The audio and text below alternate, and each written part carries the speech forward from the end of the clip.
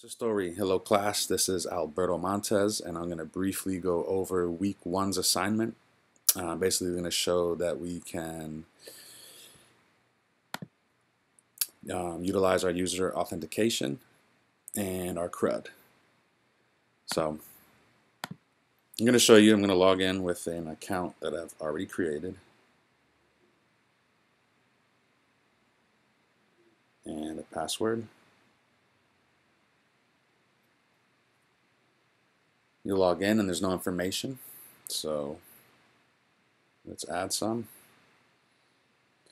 We'll say Mike Carroll. And I'm using two points of data, which are string and a long, as you can see here. So boom, now it's added and our information is added to our page. You'll also notice that it's being saved under um, its auth ID so that we can keep track of different users. Let's close down the app.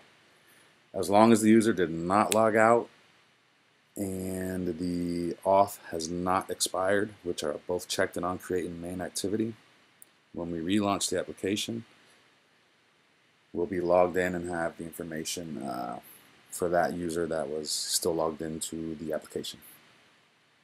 So now let's log out and create an account. Um, okay,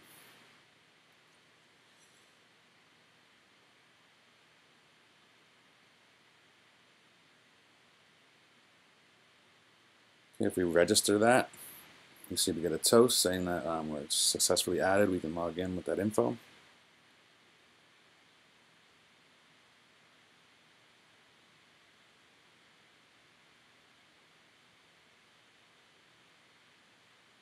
Now we can log in as a new user. And let's add some quick information here. We'll just say Mary Smith.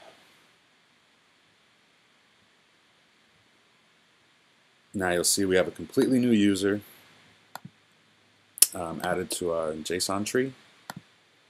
And the data is now showing on the screen. I'll show you that delete works you can see it'll instantly be deleted. Now if we log out and log back in as our test user,